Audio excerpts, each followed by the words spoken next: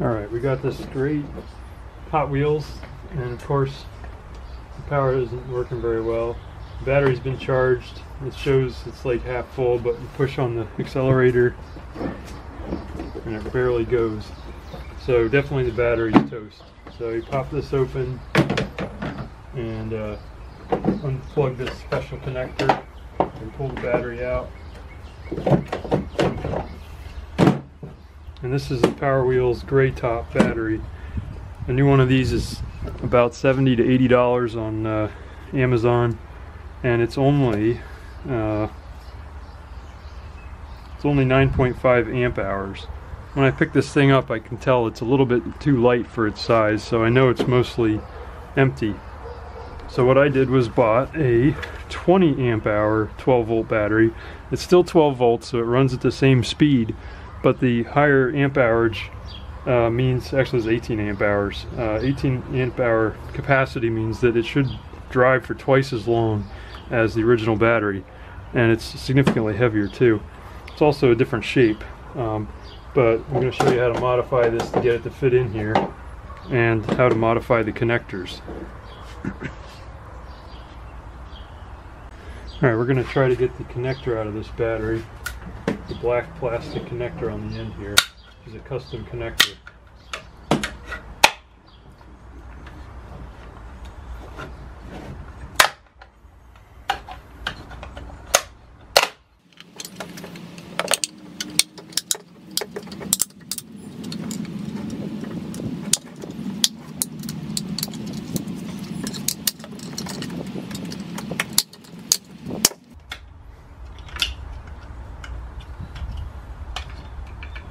Alright, here's some the wires we got to pull out.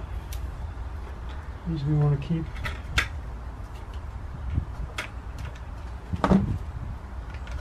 So we got to break a little bit more off to get the other wire out. That's probably the resetting fuse right there. And these are the individual cells. And we need to get this connector out.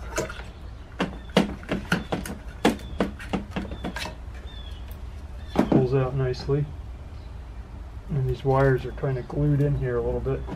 So we want to try to get them out as best as we can.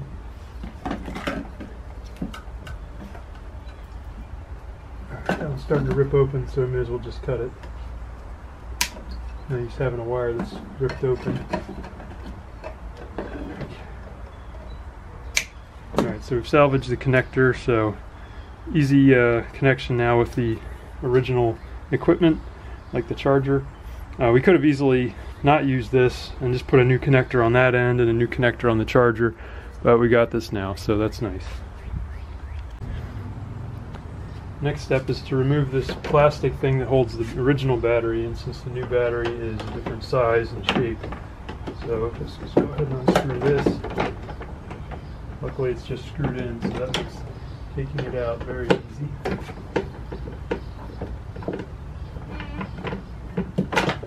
we go.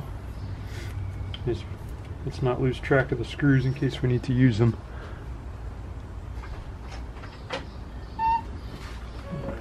Now let's see how the new battery fits.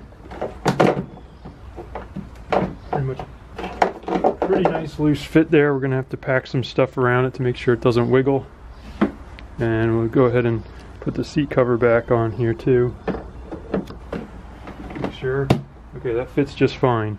So now we got a 20 amp or 18 amp hour battery in this in this car here.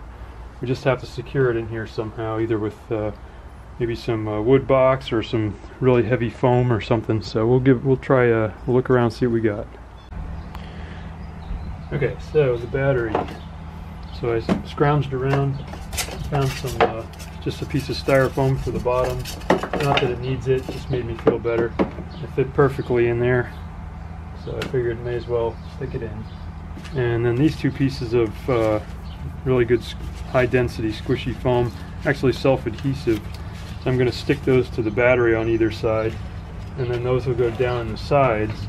Uh, down in the sides here, uh, you can see some ribs, some plastic ribs on either side, and that's uh, to give a little extra cushion for the original battery.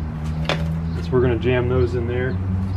Uh, the cable that I got out of the battery, I, uh, I, crimped on some terminals on the end there, and I've got the screws to attach right here to this battery, and so both the connectors will join together uh, as they used to. So it looks like it's coming together pretty quick. Okay, so battery's connected, the foam's in there, got these guys screwed down nice and tight, and it all fits inside. I'll take it for a test drive. And there's the test drive.